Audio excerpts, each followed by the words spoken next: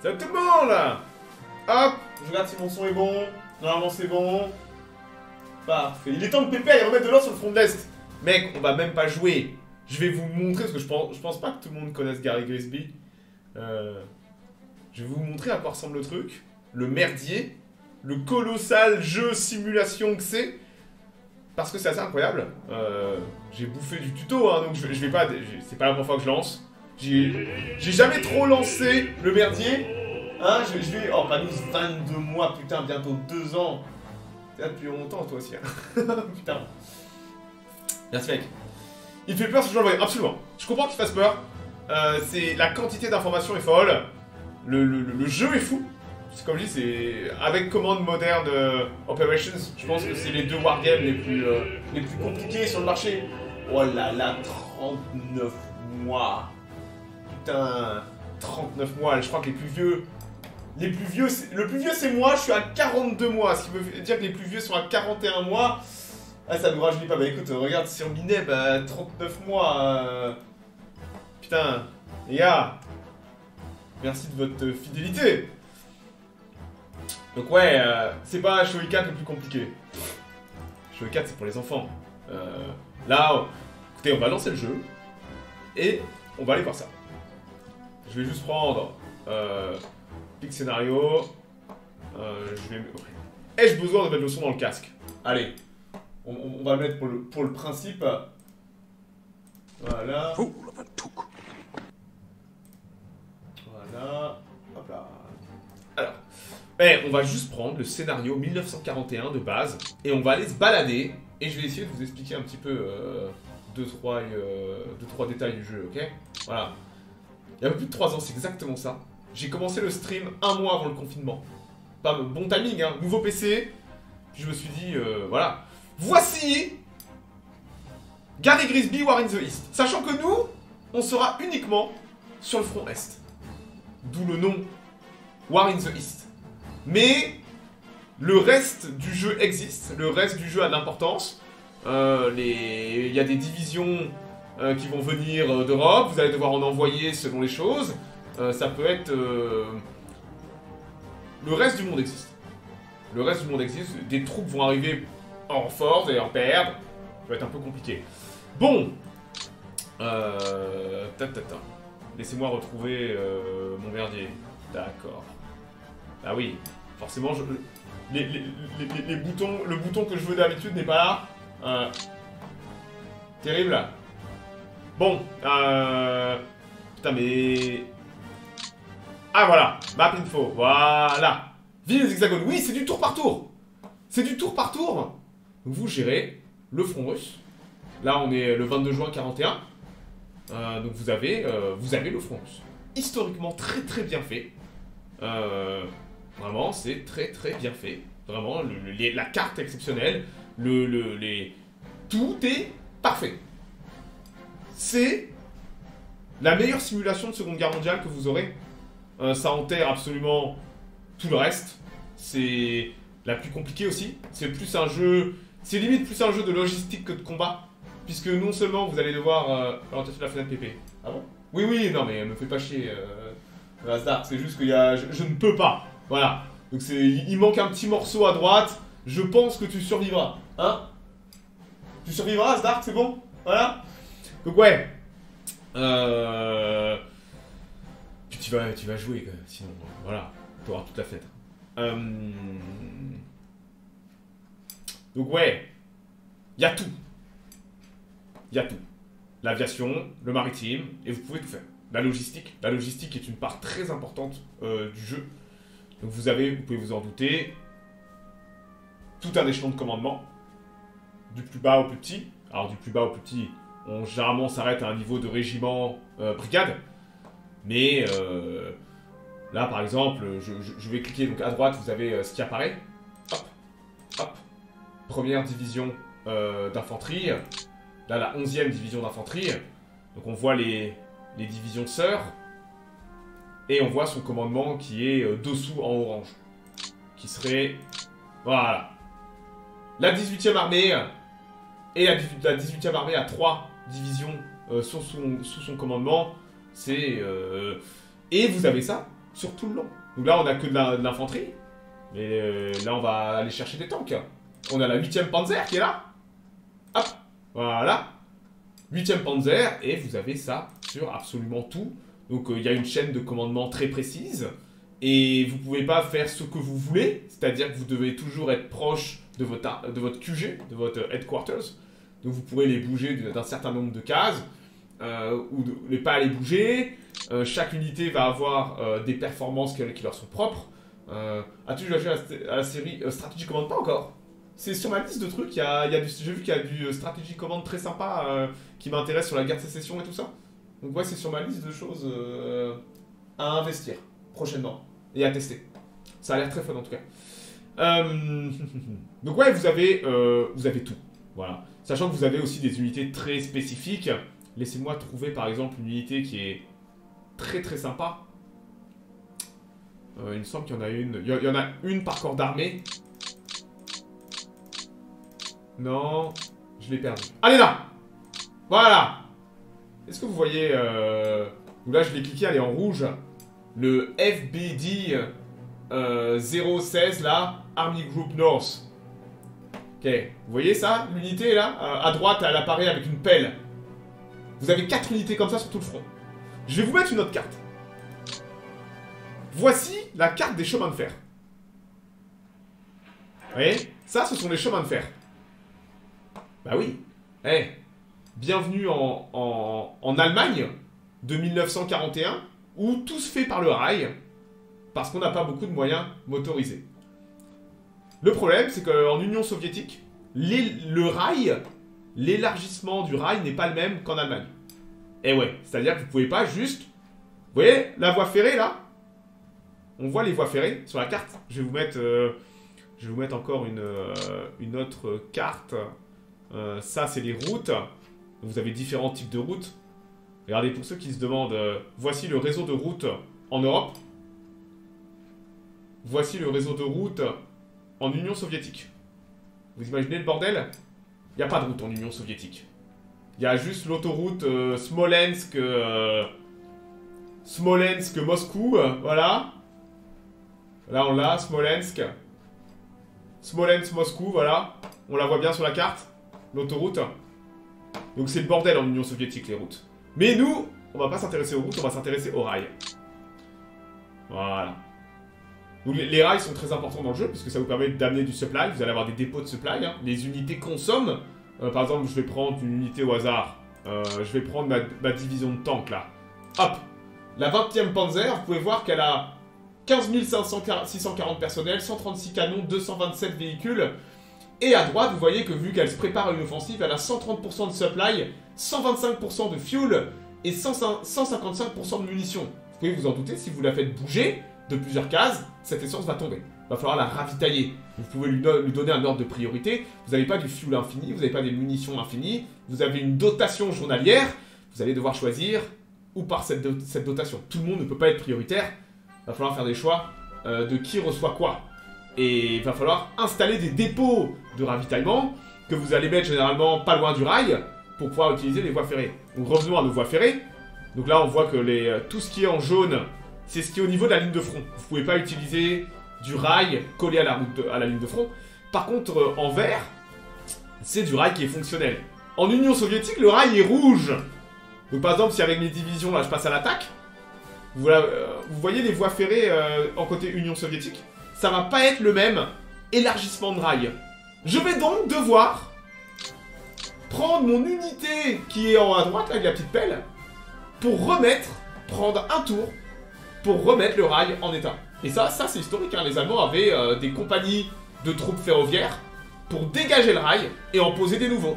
Et les, les, les Allemands ont refait le système ferroviaire russe directement avec les troupes qui avançaient pour pouvoir amener des trains euh, dans la foulée. Donc là, vous avez une unité spécialisée dans, euh, pour refaire les rails. Donc cette unité, elle va suivre. On ne peut pas capturer de trains russes. Non, il faut que tu refasses les rails. Voilà. Donc vous avez ce, type d'unité, vous en avez, je crois, 4, un pour chaque front, et euh, là, il y en a un autre, voilà. Donc là, pour le front centre, il y en a seulement un euh, sur le front sud, en, Roumanie. Euh, je sais pas trop où il est. hop là, attendez, je me perds. Là, peut-être? Non, ça c'est le HQ du corps d'armée, général Anton, qui commande le front roumain. Voilà. Donc en tout cas, vous venez, vous devez réparer le rail. Et bah, c'est très casse-couille. Donc vous avez différents types de rails. Hein. je vais essayer de vous montrer. Là, on voit bien. Côté Union soviétique, justement. Attendez, je vais virer. Hop Est-ce que vous voyez sur la carte On peut pas avancer plus. Mais je vais essayer de vous trouver un bel exemple. Euh, là, parfait. Est-ce que vous voyez au centre de la carte, on a Shushin du côté russe. Shushin, Charlena. On voit que c'est... Il y a les routes et il y a des curieuses flèches. Ça, c'est du rail à double sens. Alors que quand c'est une voie ferrée normale comme il y a partout, c'est souvent juste une voie à un sens. Donc vous pouvez pas forcément utiliser ça de la même façon. Bah, vous allez pouvoir amener plus de supply et évacuer plus de choses avec de la double voie. Donc vous devez apprendre à jouer avec des voies ferrées, capturer euh, des voies ferrées, capturer des, nœuds routiers, euh, et tout ça, vous pouvez vous en douter. Euh, chaque, hexagone va avoir un type de terrain, ce type de terrain va avoir des conséquences forcément sur si c'est des marécages, de la forêt, s'il y a un fleuve à traverser, vous allez avoir énormément de, choses. Là vous avez une rivière majeure par exemple donc 176-146, ça appartient à l'Union soviétique. On vous dit que les routes sont pauvres sur la province, normal, elles n'apparaissent pas. Climat humide, air clair, euh, contrôle soviétique, et vous avez une rivière majeure qui va avoir des conséquences euh, pour la traverser si vous attaquez. Donc vous avez tout un aspect logistique puisqu'il va falloir ravitailler vos troupes. Comme je vous dis, vous avez... Euh, et ça va vite, hein Pareil, les troupes, vous pouvez, au fur et à mesure qu'elles vont se battre, elles vont perdre des soldats, elles vont perdre des canons, des tanks. Vous allez devoir les recompléter. Il va, falloir faire du turnover, laisser des troupes en repos, pas loin d'un dépôt, pour recevoir des renforts et recompléter euh, l'unité. Donc vous avez tout un système de logistique qui va être extrêmement important, et je peux vous dire que la logistique fait partie intégrante euh, du jeu. donc ouais, là vous avez vraiment les types d'unités. Alors moi j'ai l'habitude au premier coup d'œil, parce qu'on a les symboles autant, là je vois de l'infanterie motorisée, la 18ème division d'infanterie motorisée, là j'ai du tank, beaucoup de, divisions d'infanterie. Donc ouais, la guerre en 41, là, vous avez vraiment une grosse... L'armée allemande de juin 41 qui est monstrueuse. On voit aussi des divisions un peu secondaires qui seraient des divisions de sécurité. Je vais éternuer, putain Pardon Mille excuses. ouais, on voit, euh, on voit qu'il y a, on voit toute la gamme d'unités, sachant que là j'ai beaucoup d'allemands, mais euh, vous allez après euh, probablement est-ce que ça c'est pas du euh, cavalerie de Bad Putain, c'est que c'est merde. Euh, c'est du hongrois. Ça, c'est des troupes hongroises. Et ouais, vous allez avoir des troupes euh, euh, spécialisées. Là, en violet, c'est souvent du roumain. C'est ça. Vous commandez des armées roumaines. bon, voilà. À vous de connaître vos unités après. Et de comment les utiliser. Donc là, on voit qu'il y a des troupes de montagne dans toute la Ruthénie. Parce qu'on voit bien les passes de montagne. On voit qu'il y a le mont Overla à 2061 mètres. Euh, voilà. Vous voyez que c'est un peu le bordel. Donc ouais, euh, c'est à vous de connaître vos unités. Euh, vous pouvez déplacer des unités par le rail, mais là je vais pas rentrer dans le détail. Mais quand vous... C'est du tour par tour, ouais, c'est du tour par tour. C'est un jeu de planification. Vous pouvez déplacer des unités par le rail, mais il va falloir les désembarquer, donc vous allez avoir une pénalité sur votre déplacement. c'est... C'est... C'est un jeu de logisticien. C'est un jeu de logisticien. Euh, vous pouvez facilement déplacer un corps d'armée du nord vers le sud, mais vous allez devoir le déplacer en entier. Euh, ça va prendre plusieurs tours pour le redéployer euh, au niveau viabilité au combat. Donc vous allez avoir... c'est con. Bah non, c'est les... Écoute, si tu veux du temps réel, tu vas jouer un jeu pour enfants comme HE4. voilà. Donc ouais, vous allez avoir tous ces types de déplacements différents. Donc du, du déplacement tactique, du déplacement stratégique. Donc le déplacement tactique, par exemple, Là, je suis sur la phase aérienne de phase, donc euh, on n'est pas là pour jouer, pour en parler. Mais vous pouvez attaquer avec cette division dans la profondeur. Vous allez battre sûrement les soviétiques parce que vous avez quand même une unité euh, hautement qualitative.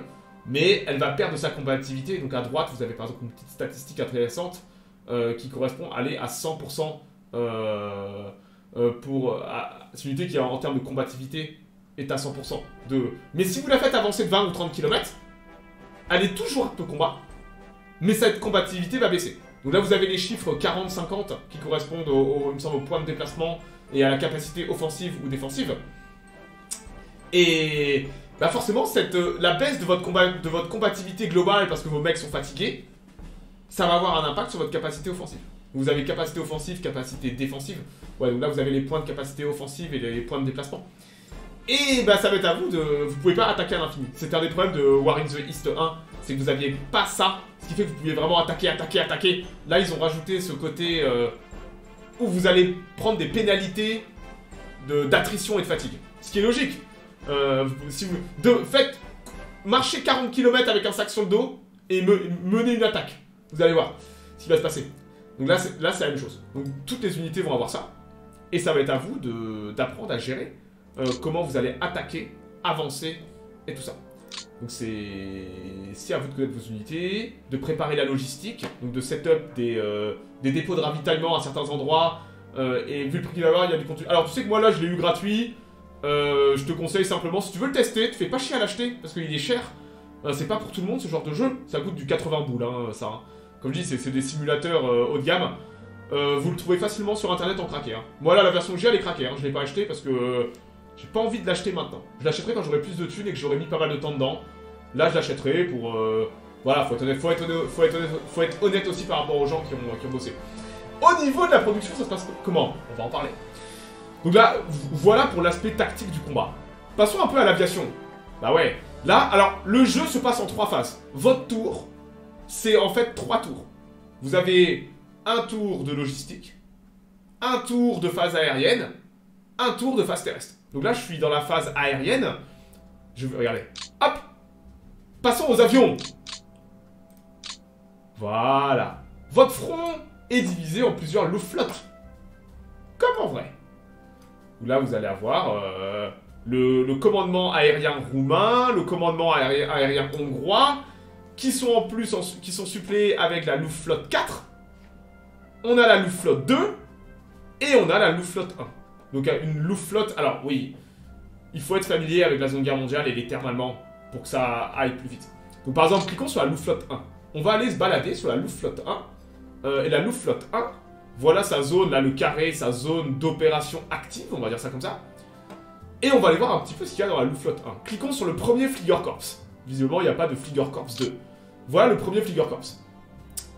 Le premier Fliegerkorps va avoir plusieurs unités, plusieurs escadrilles. Il est dispo en français. Aucune idée, je pense pas. Par exemple, là encore, il faut connaître les termes allemands. Moi, au premier coup d'œil, je sais ce que c'est parce que, bah, force de toujours s'intéresser à la zone Guerre depuis 20, 20 ans, vous finissez par connaître les termes. Là, vous avez la Jagdgeschwader 54, qui est une escadrille euh, de, chasse. Et vous avez trois escadrilles de bombardement, Kampfgeschwader 1, Kampfgeschwader 76 et la Kampfgeschwader 72. Et vous voyez leurs aérodromes. Donc, si je reste cliqué sur la Jagdgeschwader 54, je vois que ces aéroports sont Neusiedl, Rothenberg, Blumenfeld, euh, Ebenrode. Sachant que vous allez avoir trois types d'aéroports différents, une piste, deux pistes, trois pistes, et vous pouvez avoir un nombre de moteurs par piste. Donc plus l'aéroport est grand, plus vous allez pouvoir poser des avions. Donc par exemple, on va prendre la Jagdgeschwader 54, et on va aller se balader un peu sur ces quatre aéroports. Donc vous voyez qu'elle est vraiment en avant du front, parce que c'est des chasseurs, ils sont là pour être au plus proche du front, parce que leur portée va être plus limitée. Allons à Nosindel. À Nosindel, on a la deuxième Jagdgeschwader 53, très intéressant. La Jagdgeschwader 53, qui est une escadre, a prêté une de ses wings, une de ses, escadrilles, à la Jagdgeschwader 54. Voilà. Et vous voyez son, sa dotation. Elle a 33 BF-102. Euh, sur le papier, elle a 35 BF-109F. Mais dans, en réel, elle en a 33 d'opérationnels. Vous voyez qu'il y a une petite barre rouge donc elle n'est pas à full dotation. Sachant que plus vous allez vous battre, bah plus euh, ça va fondre. Va peut-être falloir ramener des renforts, va falloir mettre l'escadrille au repos pour recompléter les pertes. Allons à Blumenfeld. À Blumenfeld, on a, la troisième escadrille de la Jagdgeschwader 54. Elle a 35 BF-109. À la, à la base, elle est censée en avoir 40 euh, de BF-109F. Elle en a que 35 d'opérationnels. Et on peut aller à Ebenrode. À Ebenrode, on a deux escadrilles on a l'hashtab euh, de commandement de la Jagdgeschwader 54 et la deuxième de la Jagdgeschwader 54. Donc on voit que le commandement n'a pas beaucoup d'avions, c'est normal pour une unité de commandement de ne pas avoir euh, d'avions. Et on voit que l'autre là, ils, sont normalement en dotation normale à 40 BF 109 F2. Là, ils ne sont euh, qu'à 33 avions. Donc ils ont 7 avions qui sont en carafe pour des raisons sûrement logistiques. Donc ça, c'est la seule escadrille de chasse disponible pour le premier Fliegerkorps. Donc pour tout le front nord, on a une seule escadre Là, il y a Geschwader 54. Allons voir les bombardiers. Donc vous pouvez voir là dans, dans l'unité, Geschwader 54, qu'on a 84%. On a 138 pour le nombre d'avions, donc c'est des chasseurs, avions légers. Et on a 84%, et ce chiffre correspond simplement à la dotation opérationnelle. C'est la moyenne de toutes les escadrilles dans l'escadre, et on voit que l'escadre est opérationnelle à 84%. Euh, par exemple, on va prendre dans le premier Figure Corps, on a un groupe de transport. Eh ouais Voici un, petit groupe de transport. Donc, si vous pouvez vous en douter, on va aller sur son aéroport. Attendez, je vais essayer de le trouver. euh, à Easterbourg. Donc, qu'est-ce qu'il y a dans ce groupe de transport où il n'y a que 8 avions?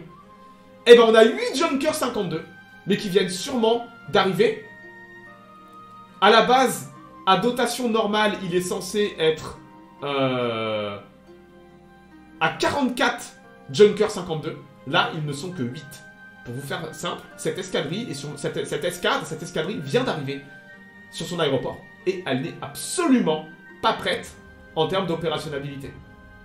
Donc oui, euh, regardez, j'ai un groupe de transport. Non, Pépère. T'as que 8 avions disponibles sur les 44. Donc sachant que vous pouvez faire après du ravitaillement aérien pour une unité qui est encerclée et tout ça. Voilà. Tous les avions endommagés, ils sont pas endommagés. Ils sont indisponibles parce qu'ils viennent d'arriver, maintenance et tout ça. Très probablement. Ou alors il y a peut-être aussi trop d'avions. Non, vous voyez que Easterbourg a deux brins. C'est une piste à deux brins, normalement il devrait avoir plus d'avions. Je pense que l'escadre vient d'arriver et qu'elle est simplement pas opérationnelle. Euh, on va aller se balader euh, sur une escadrille de bombardement. On va aller voir par exemple. euh, on va aller voir. Eh Je vous ai parlé de Jagdgeschwader 54, le transport groupe Nord avec ses 44 avions. On a aussi donc des unités un peu spéciales. On va aller voir d'abord le bombardement. Prenons la Kampfgeschwader 76, qui est basée sur deux aéroports. Donc vous voyez, très intéressant, euh, l'aéroport de Chippenvale et de Gerdauen, il y a trop d'avions par rapport aux capacités de piste. Capacité 122%, capacité 136%. C'est mal réparti. Il y a trop d'avions par rapport aux capacités d'infrastructure euh, des aéroports. Par contre, allons à Chippenvale. Chippenvale, par exemple, très intéressant, c'est des Junker 88. En dotation initiale, ils sont en 29. On en a 20 22 de dispo. Et à Gerdauen, donc on voit qu'il y a la première, la escadrille de l'escadre, la deuxième, et là encore on est full Joker 88, mais on voit qu'ils ont des problèmes en termes d'opérationnalité. Et pire, l'unité de commandement n'a absolument aucun avion euh, de dispo à la base, ils en ont aucun de toute façon. Voilà, donc ça c'est une escadrille de bombardement, on voit qu'elle est disponible à, so- à 74%. Donc c'est intéressant de voir que la, la Jagdgeschwader 54 en termes d'escadrille de chasse est à 84%, alors que la Kampfgeschwader 76 est à 74%. Euh, allons voir la Kampfgeschwader 1. Il y a quoi dans cette escadrille? Donc euh, deux aéroports, Oups. Vous avez Labio et Königsberg. Königsberg qui est une grosse piste, deux bras. Est-ce que tu peux envoyer tous les bombardiers sur une seule base pour bombarder l'ennemi ou gérer par zone Ouais, tu peux tout faire. Euh, tu peux laisser l'IA gérer, tu peux donner des ordres manuels. Donc, eh, tu sais quoi, tout à l'heure, on va lancer une phase aérienne. Et tu vas voir comment se passent les combats. Euh, c'est l'IA qui va gérer, parce que je suis encore incapable de, de, de donner ce genre d'ordre. Mais tu peux tout faire. Manuel, tu peux laisser l'IA gérer, et l'IA est plutôt efficace. hein. Donc à Königsberg, on voit qu'on a 27. Là, ils sont presque... Ils sont opérationnels, euh, ils ont 27 j- euh, Junker 88 opérationnels sur 29. Et l'unité de commandement est opérationnelle quasiment à 100%. Et à Labio, Labio, on a la troisième Kampfgeschwader 1 avec 29. À la base, elle a 30 Junker 88 dans son escadrille, elle en a 29 d'opérationnel. Donc ça, c'est une belle unité. On voit qu'elle est opérationnelle à 90%. Donc euh, là, la, la Kampfgeschwader 1, a... le multijoueur, ce jeu doit être horrible. C'est pas des jeux de multijoueur. En fait, tu peux une Inquisitio, mais tu joues pas en temps réel. C'est-à-dire que tu joues, tu saves, t'envoies la save à ton pote qui va prendre une heure et demie pour faire son tour. Et quand il a fait son tour, il te renvoie la save. C'est comme ça que ça se joue euh, euh, ce genre de jeu. C'est pas du temps réel. Tu vas prendre le temps de jouer. Tu vois? C'est pas galère, non, c'est pas galère. C'est une autre façon de jouer. On est trop habitué au temps réel en fait. On est trop habitué à du 4, du HOE 4, qui sont des jeux où t'as pas le temps. Là, c'est un jeu où il faut prendre le temps de réfléchir, de faire. Donc si tu prends deux heures pour, ton tour- faire ton tour, tu prends deux heures. Donc ouais, voilà la Kampfgeschwader 1.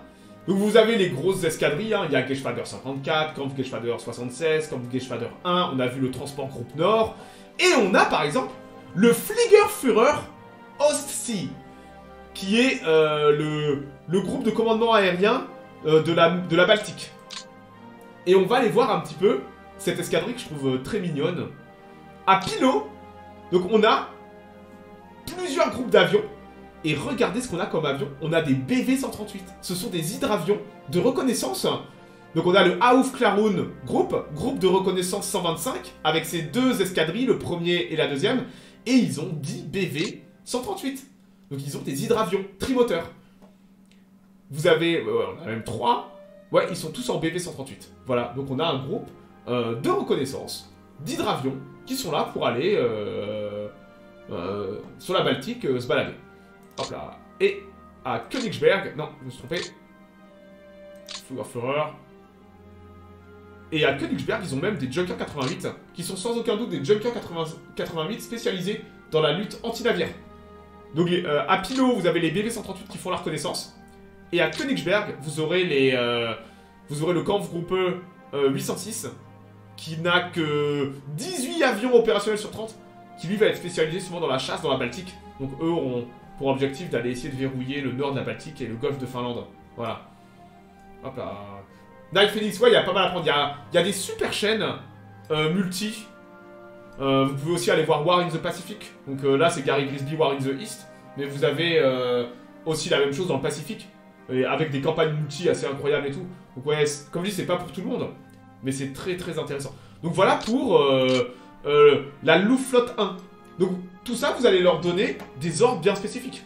Vous allez avoir, vous pouvez euh, aller manuel, vous pouvez les, les attacher. Vous pouvez mettre une escadrille de bombardiers, la rattacher à des panzers par exemple. Comme ça, quand les panzers vont attaquer, les escadrilles de bombardement vont se spécialiser pour faire de la préparation pour les combats. Vous pouvez aussi couvrir, faire une couverture aérienne à des unités. Vous pouvez choisir. Euh, non, non, non, non, non. Euh, vous pouvez choisir des. euh, ce jeu plus le tableur Excel. Mais c'est un tableur Excel. C'est un tableur Excel qui ne s'en cache pas. Mais je peux te dire que lui est très très bien foutu. Toutes les informations sont là. Euh, quand t'as le, le coup de main, euh, ça va plutôt vite. Donc après, vous pouvez, oui, vous pouvez tout faire. Vous pouvez prendre les unités manuellement, leur donner des ordres d'attaque. Vous pouvez aller attaquer les aérodromes soviétiques. Vous avez aussi, là, on manque de vision, mais vous avez toute une phase de reconnaissance aérienne où vous allez envoyer des bombardiers faire de la reconnaissance pour vous donner des informations sur des types d'unités, euh, sur ce qu'il y a sur les aéroports. La phase aérienne est, très importante dans le jeu. Euh, je commence tout juste, moi, euh, à, la découvrir. Mais c'est un truc assez, assez dingue, tout ce que vous pouvez faire. Donc là, j'ai fait que. Là, eh, j'ai fait que la Luftflotte 1. 1. Vous avez après. La Luftflotte 2. Putain, dégage la Luftflotte 1. Bon, j'arrive pas à passer sur les, autres Luftflottes. Voilà. Donc vous allez. Il va falloir donner les ordres pour toutes les Luftflottes. Par exemple, allons voir la Luftflotte 4. La Luftflotte 4 on voit qu'elle a entre autres pas mal d'unités euh, roumaines. Regardez, là, le quatrième groupe de reconnaissance roumain. On va aller voir son aéroport, à Brasov. Vous voyez qu'à Brasov, ils ont que 37% de leur dotation de munitions et le, supply est low. Galati, pareil. Galati, ils sont qu'à 27% avant même le début de la bataille. Vous vous rendez compte Avant même le début de Barbarossa. Les unités, certaines unités roumaines sont dans un état lamentable de logistique. Et regardez, c'est génial. Là, le groupe de reconnaissance roumain, le 17e, le 22e et le 3e, ils ont des IAR 38, ils ont des Blenheim. Ils ont des putains de Blenheim anglais bah, qu'ils ont acheté avant-guerre. Donc vous avez 8 Blenheim et 16 IAR 38 basés à Galati. Et à Brasov, vous allez avoir des IAR 38. Donc vous pouvez donner l'ordre à cette escadrille, qui est une, une escadrille de reconnaissance, d'aller choper de l'info pour vos unités terrestres.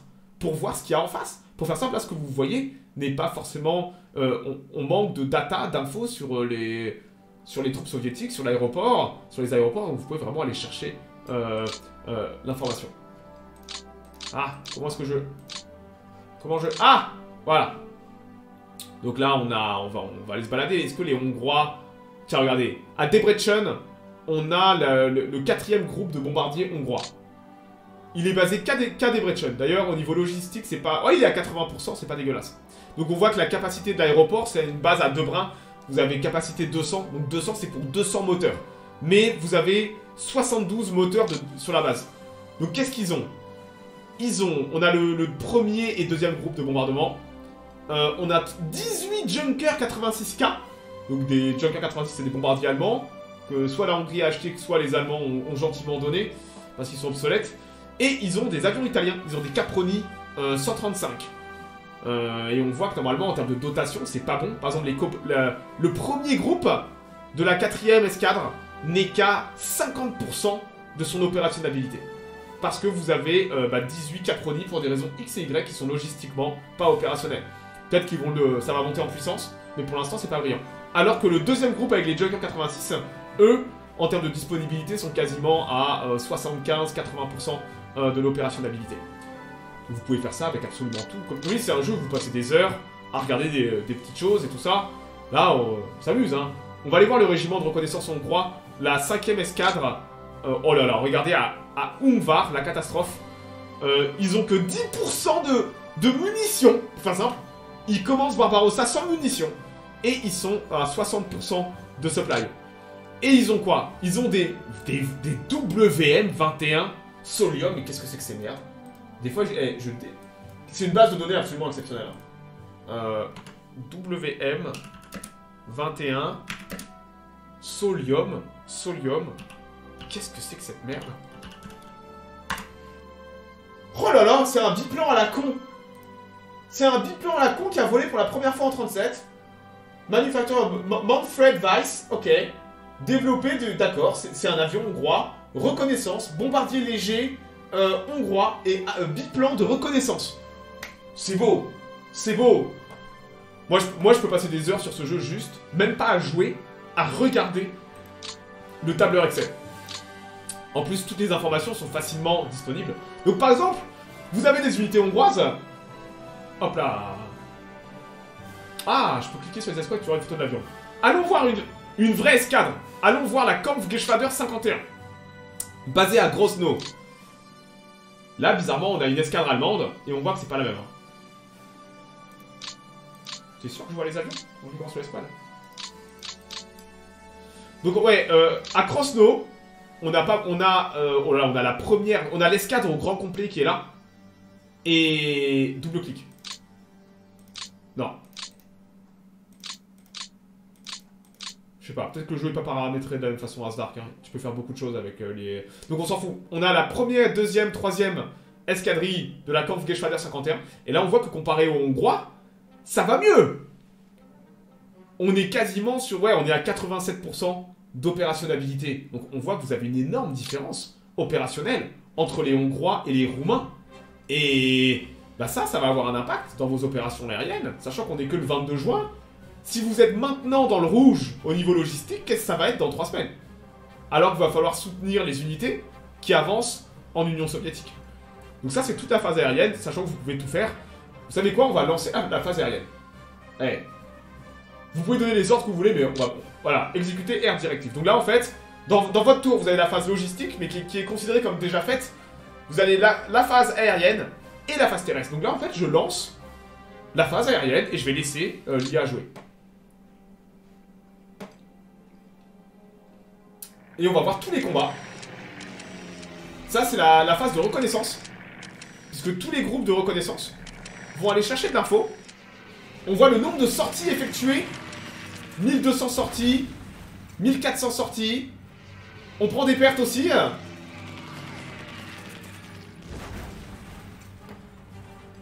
Après, on va passer sur le combat.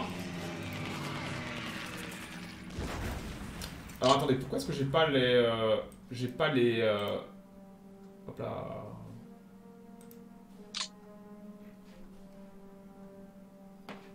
J'aurais bien aimé avoir les... euh, Ok, c'est encore les photos.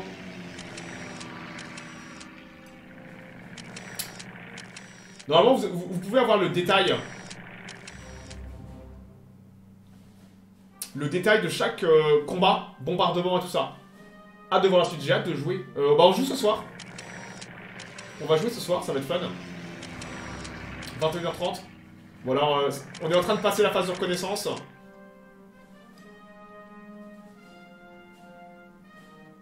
Normalement, après, on va voir les combats. Donc là, le 22 juin, il y a pas mal d'escadrilles qui ont reçu pour ordre d'aller bombarder les aérodromes soviétiques. Ah non, clear all directive. Euh, donc là, vous avez le détail. Si vous, comme dis, c'est un tableur Excel. Hein. Il faut mettre en plus la phase, il faut mettre en plus la phase aérienne. Tu es dans le. Ah merde. J'ai dû, dû, toucher un truc parce que avant j'avais le détail de la phase aérienne, ce qui était très très pratique. Euh... Record, ah ouais, ground attack. Ground attack. Time intensity, intensity medium. On voit le nombre de sorties, on voit les pertes, on voit les avions endommagés. Et après, vous pouvez. Vous, pouvez euh... Attendez, hop, hop, hop, ouais. Métrique, comme je dis là, vous avez tous les détails. Euh... Après, ce qui est bien, c'est que vous avez, au fur et à mesure des jours, vous pouvez voir ce qui monte euh, et ce qui descend. Un point de geste pour moi, bien sûr. Non, non, non. même, même en stream, c'est encore plus imbuvable. C'est pas, pas un jeu que tu, que tu vas streamer. Donc là, normalement, on a fini la phase aérienne. J'aurais aimé avoir plus de détails parce que vous pouvez avoir vraiment le détail de chaque opération. Ce qui est génial, parce que vous pouvez voir des attaques sur les aéroports, vous voyez le nombre d'avions que vous détruisez au sol et tout. Euh, là, malheureusement, j'ai pas activé l'option. Euh, vous pouvez tout activer, désactiver. Euh, vous pouvez vraiment avoir accès à toutes les informations. Là, là maintenant, c'est la phase terrestre. Voilà. Là, vous pouvez après commencer à passer à l'attaque, ordonner des déplacements. et là, vous, on voit que c'est plus les mêmes. il faut commencer par les petits scénarios. Absolument. Faut pas chercher là. Là, c'est pour avoir de l'information et vous montrer la, complexité du truc. Mais vous avez plein de petits scénarios pour apprendre à diriger une division, la ravitailler et tout ça. Euh, pareil pour l'aviation. Là, le, but maintenant va être de commencer à, attaquer. Vous allez voir qu'au début, les, attaques sont potentiellement euh, faciles. Mais au fur et à mesure... Euh, au fur et à mesure, ça va se corser. Vous allez perdre des hommes, des tanks, il va falloir les ravitailler. Vous allez avoir vos, points de déplacement. Euh, c'est plus un jeu de, logistique qu'un jeu de combat à, proprement parler. Là, on voit que la, la, 30ème division d'infanterie est en train, est en train de, bien avancer. On pourrait exploiter avec les tanks, sachant que le combat a été fait. Et après, on a déjà percé une partie du front, et vous commencez après à, engager des troupes, et vous faites ça sur tout le front. Et vous pouvez vraiment préparer des opérations mécanisées dans la profondeur, euh, en ouvrant avec de l'infanterie, tout en pensant à la logistique. Et oui, parce que c'est bien beau de faire des chevauchés fantastiques, mais vous allez... Regardez. Euh, regardez la combativité de mon unité d'infanterie. Elle a commencé à 100. Elle a fait deux, ex, deux hexagones de bataille. Elle est tombée, elle est tombée à 24 euh, de combativité. Parce qu'elle est plus apte au combat. Il va falloir attendre un tour, que ça remonte, et on voit heureusement qu'elle a du supply. C'est combien de temps pour un tour? Bonne question. Euh, ça, ça doit être une journée, peut-être Quelque chose comme ça? Ou une semaine Ou un truc comme ça? Donc là, pareil, regardez. La combativité de l'unité est à 100 à droite. On est à 130% de supply, 122% d'essence, 122 de munitions.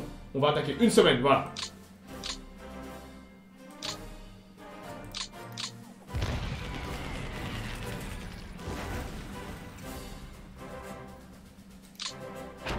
Voilà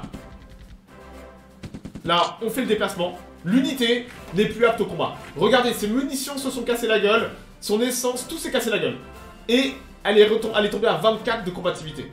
Donc là, mon, infanterie, elle prend cher. Sachant que les provinces peuvent être fortifiées. Plus une unité d'infanterie reste longtemps sur une case, plus elle va fortifier euh, de base euh, la province. Hop là. Je crois que... Euh, mais j'en sais rien, tu me poses de ces putains de questions. Ton, avion, ton aviation intervenue. J'en sais rien. Non mais, les gars, je sais pas jouer. Je, vous montre comment... Le, basique du jeu. Je ne sais pas c'est quoi les doctrines de mon aviation. Est-ce que j'ai dit à mon aviation de soutenir? J'en sais rien. T'as vous me poser de ces questions J'ai regardé 5-6 euh, tutos. J'ai même pas encore commencé à jouer. Sérieusement. Donc, voilà. Je pense que oui, hein. Là, pareil. Hop. Zut. Je pense que, que, l'aviation supporte 14 points de déplacement pour aller là. Là, l'unité a déjà perdu 50% de sa combativité sur la première attaque. Donc le but, ça va être d'avancer. Euh, et puis, euh, bah, vous devez pousser, pousser, pousser. Sauf qu'à un moment, vous allez voir que votre logistique ne, suit plus. On va devoir... Euh, on veut savoir combien la flotte 1 pour une char. Ça, tu peux, hein. Mais tu peux, hein. Là, malheureusement, pour une raison que j'ignore, j'ai plus les rapports de combat comme, je les avais avant.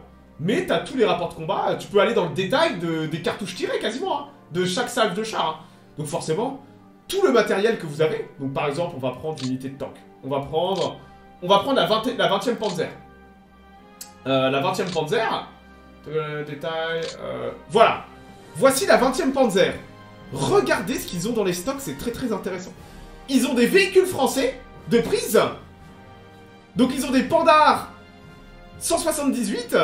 Donc j'ai déjà souvent dit dans les War Tanks. Mais l'armée allemande de 41 est une armée de clodo. Avec du matos capturé dans toute l'Europe. Et là vous avez notre 20e Panzer. Avec tout son élément de reconnaissance d'Aufklärung. Qui est euh, en véhicule français. On voit aussi qu'il y a du 38T, véhicule tchèque. Donc on a 35 38T, 86. Ouais, au total, ils sont, ils sont 120. On a 31 Panzer 4, 44 Panzer 1, 31 Panzer 2. Et vous avez l'entièreté euh, de tout ce qu'ils ont au niveau... euh, les options, et reset les options pour qu'on voit les... Ouais, ouais, les options. Bon, écoute, on fera ça une prochaine fois. hein. Euh, et on voit exactement tout ce qu'il y a jusqu'au...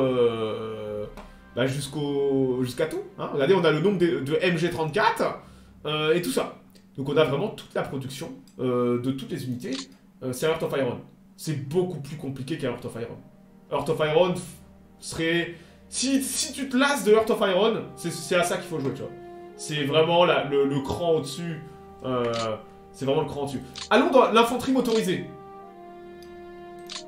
L'infanterie motorisée, donc là on a la, la 18e infanterie, de, la, la 18e division motorisée. Bah on voit que ils ont, on a du Howitzer, bien, euh, Pioneer Squad, il y a de la moto. Oh ils, ont de la chance, ils ont beaucoup, ils ont du, FZ du SDKFZ de 231, 222. Euh, ouais ouais ouais ok. Euh, support, ça serait sûrement peut-être des camions. Ok, eux sont pas malheureux. On va aller, on va aller voir une autre division de tanks. Là. Non. La troisième Panzer. La troisième Panzer, vous voyez qu'elle n'a pas des véhicules français. Donc c'est pas des... c'est pas des divisions clones. Chaque division a son, équipement spécifique. Là on voit qu'ils n'ont pas du matos français. Ils ont du SDKFZ, ils ont du 222 pour la reconnaissance et tout ça. On voit qu'il y a du Panzer Grenadier. Au niveau des tanks, on a... Oh, on a des SDKFZ 251 euh, avec des mortiers. On a du Panzer 3G, Panzer 3H. Intéressant, ils ont du H du Thor Panzer, Panzer 4, Thor Panzer, Panzer 2, euh, et... Donc chaque division va avoir ses propres équipements. Vous pouvez vous en douter, ces équipements, ils peuvent être perdus au combat. Hein Vous faites la guerre, vous allez perdre des hommes et vous allez perdre des équipements. Et ben vous avez toute une chaîne, tous ces équipements, quand vous allez mettre votre, division au repos, bah vous allez avoir des... euh, euh, vous allez avoir des les ressources qui vont arriver. Vous allez avoir des nouveaux tanks, des nouveaux équipements, mais ça faut les produire. Donc vous avez tout un, un, un pan du jeu, tout un pan du jeu qui est euh, que vous ne gérez pas, mais qui est l'industrie de votre pays. Donc là, partout sur toutes les villes, vous allez avoir des usines d'armement, vous allez avoir euh, des, vous allez faire les munitions des véhicules et vous allez faire les châssis des véhicules. Par exemple, regardez le Panzer 3 là. Vous voyez à droite? On a le Panzer 3. Les châssis sont faits à Berlin. Ouais, châssis Panzer 3. Ils sont faits à Berlin. Sachant que dans 91 tours, on aura accès au Panther. Euh, donc ça, c'est des choses que vous gérez pas. Mais euh, vous allez avoir les usines. À Berlin-Ouest, on fait, on fait des, châssis de P3, après on les spécialise. On a des châssis de P4 qu'on fait aussi à Berlin, à Magdebourg, à Bukow, Plölen. Donc dans toute l'Allemagne, vous faites des équipements. Tous les équipements de votre armée, vous regardez là ça, c'est la base de données de tout votre équipement. Regardez, les- les- on fait du, du Toldi et du Touran, donc qui sont des chars hongrois. On les fait à Budapest. Hop. À Budapest, vous avez usine d'armement, usine de véhicules et tout ça. Et on fait du Touran, du Toldi, sachant qu'après, bah, tout ça, euh, bah, ça va finir dans les divisions hongroises qui vont prendre des pertes. Donc si vous prenez trop de pertes... Non mais les gars, on est en 2023, un jeu qui vaut comme ça 120 boules, allez le craquer sur internet. Là, mon, euh, mon Gary Grisby, moi, il est pas légal. Je suis allé euh, pour le tester le poncer un peu. Euh, je suis allé le, choper sur Skydraw. Du premier coup, ça marche nickel. Faut pas vous emmerder à attendre que ça soit en solde. Ça vaut pas 80 euros, ça fait un peu cher quand même, quoi. Euh, donc ouais, n'hésitez pas et attendez que ce soit en solde, et puis basta. Ou alors le jour où vous avez trop d'argent, vous les payez. Puis, et puis voilà. Tu l'achètes comme tu as beaucoup d'heures, exactement. Là, euh, si moi je joue un peu, là que je vais faire 100 200 heures, à un moment je changerai. Oh, Nighty T'as 27 points, Nighty, pas mal. Donc ouais, euh, j'adore. Donc à Budapest, vous faites des châssis de Toldi, vous faites des... Attends, location à Gênes, les AB41. Oh, génial. Donc les châssis de Touran, les châssis de Toldi. Et si un jour, imaginons, ça se passe mal pour vous, vous perdez Budapest, ben vous savez quoi? Vous allez perdre l'accès à l'usine à Budapest qui faisait les châssis de Toldi. Plus de chars Toldi Et ça va être un énorme problème. Si vous commencez à perdre votre pays, vous allez perdre accès aux usines qui produisent les équipements dont vous avez besoin pour remplacer vos pertes. Par exemple, regardez là, c'est les, les BF-109 Airframe. Donc c'est les cellules de BF-109. Eh ben, regardez, on, a part- on voit où ils font les cellules. Leipzig, Wiener Neustadt, Regensburg. À Prague, on fait des, euh, des... On peut faire apparaître des divisions d'infanterie aussi. Euh, disons que tu reçois des renforts, tu reçois des, euh, unités. Mais c'est pas toi qui gères ça pour parler. Tu peux définir un point d'arrivée des, des réserves, mais tu ne crées pas les divisions. Tout ça est automatisé. Toi, t'es là pour faire la guerre. C'est un jeu de guerre. Hein Euh, c'est pas HOI4 où vous, vous faites chier à faire votre réservoir d'essence supplémentaire pour votre avion. Euh, là, c'est la guerre, la guerre, la guerre. Mais faut avoir conscience que si vous commencez à perdre du territoire, vous allez perdre des ressources. Donc là, on voit que euh, on voit où sont faites tout- toutes les cellules de BF109, sachant que toutes ces usines, vous allez à Regensburg par exemple, bah, vous allez, regardez Regensburg, on a l'usine. Si je vais à Wiener Neustadt, je vois où on fait les usines. Là, on fait des euh, Ingolstadt, pareil, on fait des BF109. Et vous avez, par exemple, BF110. BF110, on n'en fait qu'à deux endroits, à Braunschweig, donc euh, Braunschweig, voilà sur la carte, là c'est au centre, et à Gotha. Hop Sachant que dans 195, 189 tours, le jeu, vous, vous avez une ligne technologique, dans 189 tours, on convertira ça en TAS 152. D'abord en BF109, puis en TAS 152. Donc vous pouvez faire vraiment... euh, Il y a une campagne sur la défaite d'un décor. Bien sûr, il y a des points de victoire. Le but est d'aller prendre les points de victoire ennemis, et tout ça. Donc vous avez tout un aspect industriel que vous ne gérez pas, mais qui est quand même important, puisque ça va vous permettre de recompléter vos unités. Donc il y a toute une phase logistique que je n'ai pas montrée, parce que c'est visuellement pas facile à expliquer, mais qui est une phase où vous allez devoir gérer... Donc là, regardez, j'ai tout enlevé sur la carte. On voit bien les lignes de chemin de fer, on voit bien les routes, donc les, routes en rouge, donc les routes qui sont viables, on voit aussi les aéroports, on voit les aéroports avec plusieurs brins, les aéroports qui ont deux brins, comme à Königsberg, les aéroports à un brin. Par exemple, à Königsberg, si je clique sur Königsberg, Königsberg, il y, a y a un port, il y a des rails, il y a 17 de manpower. Qui, je pense que 17, ça, ça doit être du euh, 170 000 habitants. Il y a de l'industrie lourde, et il y a une usine d'armement. Ce qui veut dire que si vous perdez Königsberg, vous allez perdre ça. Vous allez perdre euh, ce qui était produit à Königsberg. Vous allez perdre ce qui a été fait à Königsberg. Donc c'est un- problème de perdre, de perdre des villes. Vous perdez des hommes, vous perdez des ports, vous perdez de l'armement euh, qui allait peut-être dans votre pool après de recomplètement. Donc ouais, vous voulez pas commencer à perdre des territoires. C'est que le front Est. Ouais, c'est déjà énorme, hein, Gerd, hein, le front Est. Hein, euh, T'as vu la taille du truc? Si en plus faut que tu gères le reste et que tu commences en 39, t'as une flotte de navires. Oui, tu peux mener des opérations euh, amphibies. Tu peux déplacer les troupes d'un point A à un point B par port et tout ça. Donc ouais, euh, tu peux, vous pouvez vraiment tout faire à ce niveau-là. Donc la phase logistique est importante, vous pouvez vous en douter. Hein. Pour, est-ce que j'ai accès au dépôt de ravitaillement? Ouais, regardez, là j'ai activé les dépôts de ravitaillement sur la carte. Donc on voit où sont les dépôts de ravitaillement. On voit que bah, les dépôts de ravitaillement ont, été installés très près du front, euh, simplement euh, ah, pour- parce que la, bataille va commencer. Vous voulez pas avoir vos, dépôts à 1000 km dans la profondeur alors vous vous préparez à rentrer en Union soviétique. Donc on peut, on peut voir tous euh, les, les dépôts avec ce qui arrive par jour. On voit que ce qui, est, ce, qui va ce qui va être reçu, ce qu'il y a dans les stocks, la capacité totale, euh, et voilà. Donc c'est très très intéressant. T'as voulu faire une petite campagne Je sais pas, je pense pas. Parce que c'est pas un format qui est intéressant à, streamer.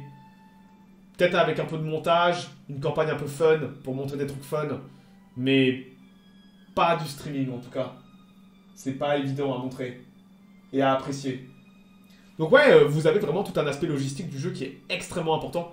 Vous regardez là, on voit les chemins de fer et les routes. Donc il va falloir vous battre parfois euh, pour aller par exemple Brest-Litovsk.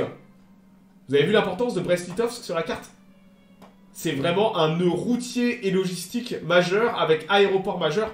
Donc vous voulez prendre Brest-Litovsk le plus rapidement possible pour pouvoir sécuriser le nœud ferroviaire et routier.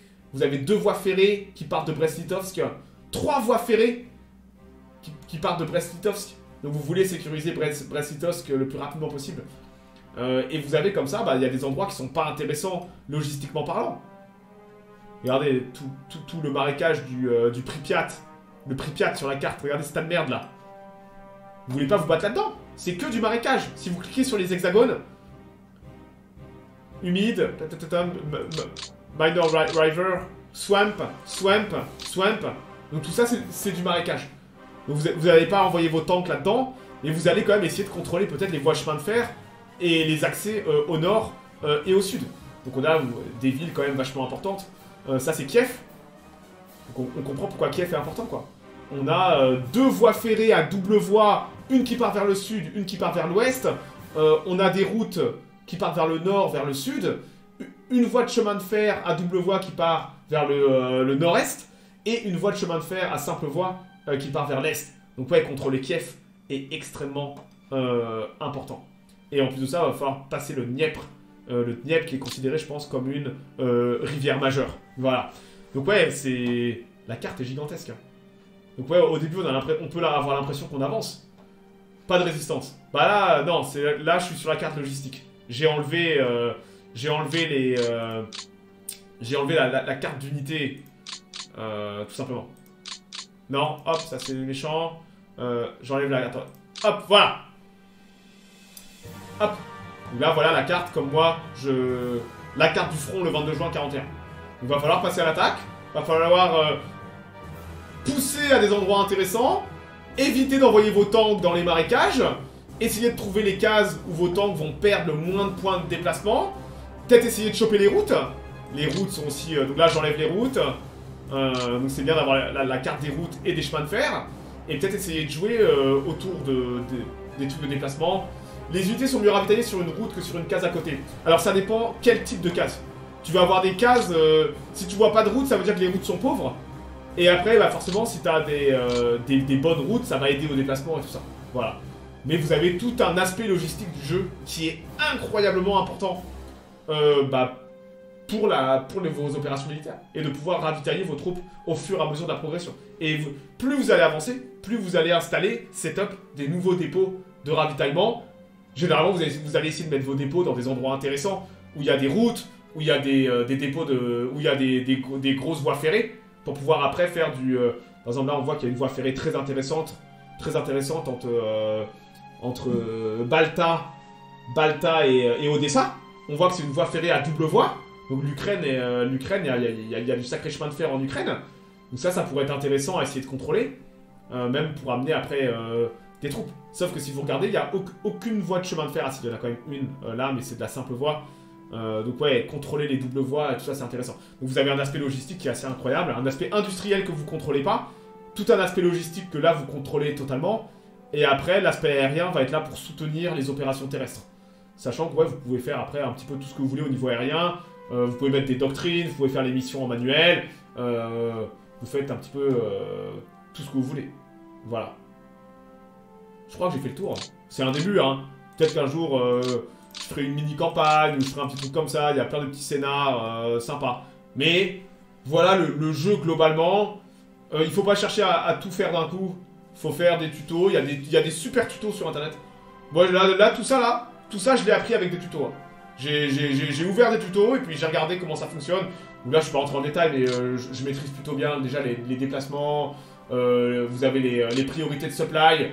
Donc là vous allez être à l'offensive, vous allez vouloir ravitailler rapidement. Euh, donc vous, pouvez mettre des priorités de qui va recevoir quoi euh, et tout ça. Vous avez tout un aspect euh, très intéressant de qui... Est-ce qu'il y a des tutos pour les torpilles? Ah putain. Je t'emmerde Mais ouais, voilà. Donc c'est... on en refera du Gary Grisby War in the East, parce que je, je trouve le jeu, moi, assez dingue. Et ça permet aussi de... Comme je dis, il y a une base de données qui est folle sur les unités, sur les équipements dans les unités.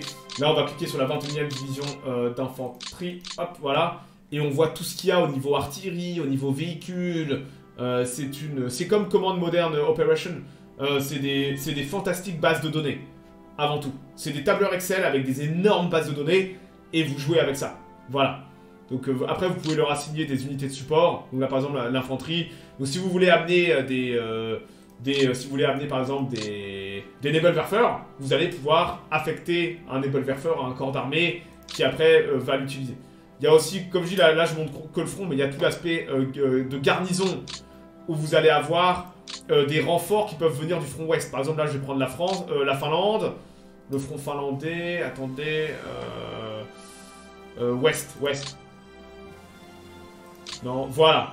Donc là, pour vous dire, là j'étais sur le front russe. Ça, c'est toutes les divisions qu'il y a en France. Donc il y a tout l'aspect du jeu sur ce qui se passe ailleurs. Donc vous pouvez demander des renforts, vous allez avoir de l'infanterie, vous allez avoir des divisions d'infanterie, vous pouvez demander à, recevoir des troupes qui vont être déployées. Euh, Il y a des troupes en rouge là qui sont pas disponibles. Euh, vous allez pareil, vous allez avoir des escadrilles. Hein vous allez avoir, euh, vous pouvez amener des escadrilles et tout ça supplémentaires. Il y a tout un aspect du jeu avec ce qui se passe ailleurs. On va aller voir en Italie, Afrique, AF, Afrique, voilà. Vous avez aussi tout le front euh, Afrique du Nord, Italie, avec euh, toutes les unités qu'il y a euh, en Afrique du Nord. Donc ouais, vous avez tous les fronts partout, et c'est pas juste vous sur le front de l'Est. Il va y avoir potentiellement des événements importants qui vont se passer ailleurs, et on va vous dire, on vous retire ça, ça, ça et ça. Pas de bol, c'est les unités en pleine offensive. Et bah, comme euh, ce qui s'est passé euh, en Italie ou avec Kursk, on a, on a retiré des, divisions de certaines zones pour les envoyer ailleurs. Euh, C'était quelque chose d'assez commun pour la Seconde Guerre mondiale du côté allemand, de retirer des divisions pour les envoyer ailleurs et tout ça.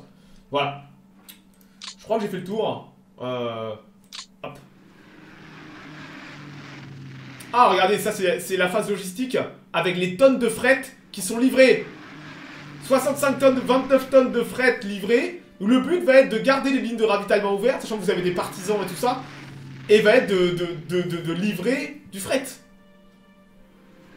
124 tonnes de fret livrées. So- 62 tonnes de fret livrées, bah ouais Vos mecs bouffent, euh, on fait la guerre, euh, tout ça quoi. Ah, ça c'est l'Union soviétique qui passe à l'attaque. Donc là c'est le tour de, de l'IA russe. Là, vous pouvez mettre le détail, c'est juste que moi il est, pour une raison que j'ignore, que j'ai dû faire un misclick, euh, il n'a pas été euh, activé. Mais normalement vous avez le détail des attaques euh, et tout ça, vous pouvez voir où ça pète. Vous voyez, réparation de rail, rail repair, ça veut dire que c'est mes avions. Mes avions qui ont attaqué des bases aériennes. Là les bases aériennes sont en train d'être réparées par l'IA. Et tout ça.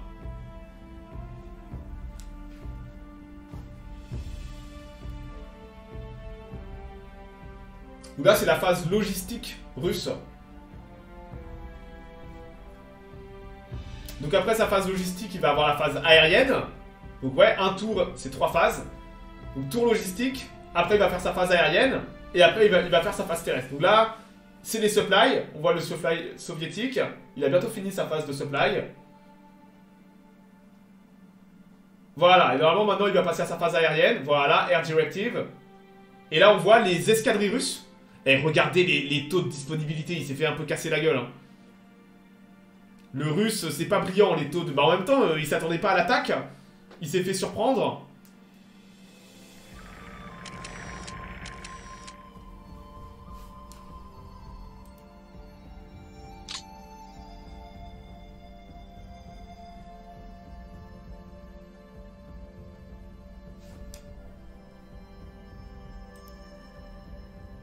Donc là, on, voit bien les, bases, aériennes russes, on voit Western Air Command, on voit leur équivalent des Luftflotte. Eux aussi font leur tour, choper des photos, mission de bombardement, s'ils peuvent, parce qu'ils ont dû bien se faire casser la gueule dans le premier tour. Et là, on passe sur la phase terrestre de l'IA. On va voir si elle attaque ou pas, aucune idée.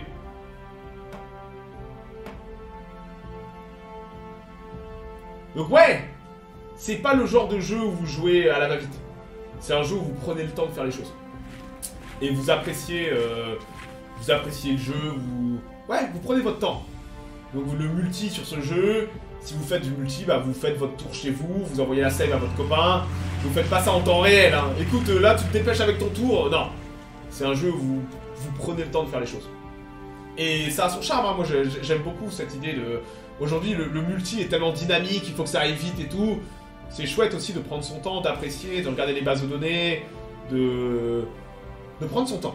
On n'est plus habitué à prendre son temps. Et ça c'est un jeu qui prend son temps, et moi je trouve ça génial en tout cas. C'est pas pour tout le monde après, hein. J'ai conscience que c'est un jeu euh, déjà qui est compliqué. Faut déjà avoir quelques bonnes, euh, bonnes bases sur la Seconde Guerre mondiale pour pouvoir comprendre pas mal de choses au niveau des, des noms, des équipements et tout. Mais euh, ouais, c'est. Pour les gens qui s'ennuient sur du HOI 4, mais qui aiment les wargames, qui aiment les commandes modernes d'Operation, c'est sûrement. C'est pour ce genre de public, euh, ces jeux-là. Le temps, c'est de l'argent, malheureusement, absolument. Aujourd'hui, le temps. Le temps est ce qu'il y a de plus difficile à avoir, malheureusement. Et il y a tellement de bons contenus partout que c'est pas facile de, trouver le temps de jouer à un jeu comme ça. Et il faut se réserver une heure, même mater des tutos. Hein. Mater euh, un. Tout le monde n'a pas le temps de mater un tuto de 45 minutes. Et pour jouer au jeu, là, il y a 16 tutos qui font 40 minutes. Donc, ouais, euh, il faut trouver le temps de jouer à ce jeu. Donc, c'est. Plus un jeu. Il n'y a, pas a pas forcément de mauvais jeux sur ça, mais il faut accepter, quand vous voulez jouer à un jeu, de mettre du temps dans le jeu.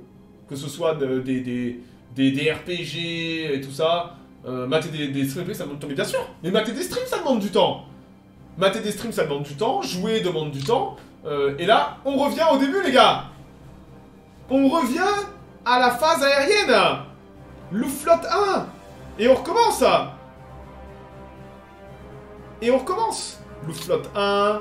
Puis après, bah, on pourra euh, repasser à la suivante, Louflotte 2. Et là, on a fait un tour euh, rapide. euh, voilà, sans vraiment prendre le temps de tout faire. Mais là, ouais, un, un tour peut prendre plusieurs heures. Allez ravitailler, bah écoute, on va aller voir.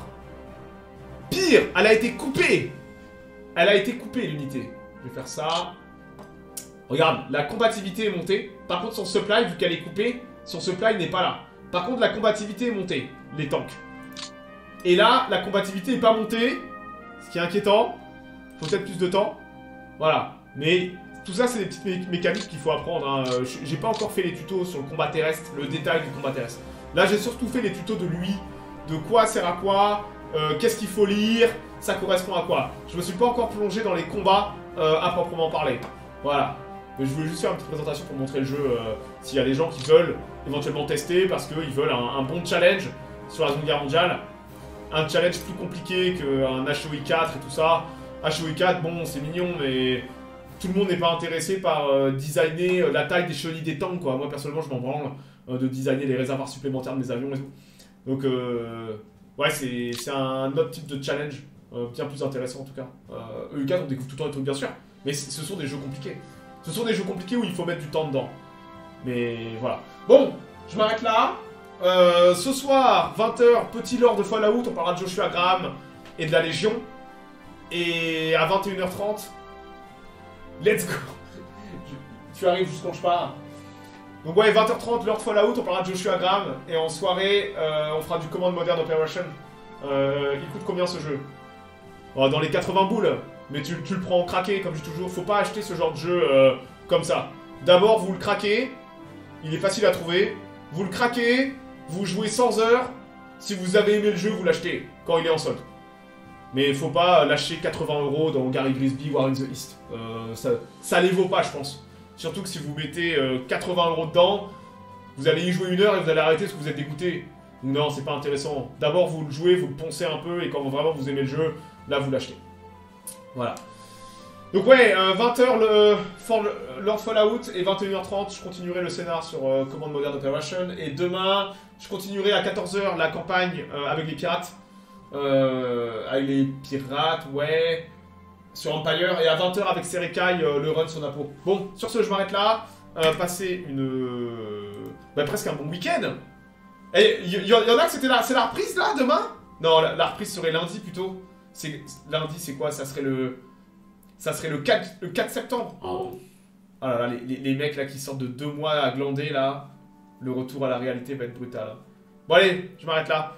Rendez-vous à ce soir et puis sinon, euh, c'est le 5. Oh là là, bon courage. hein.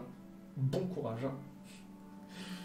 Passez une bonne soirée, bonne journée, puis bon week-end. Euh, sauf que je verrai pas d'ici là. Allez, ciao ciao, c'est tout. le monde.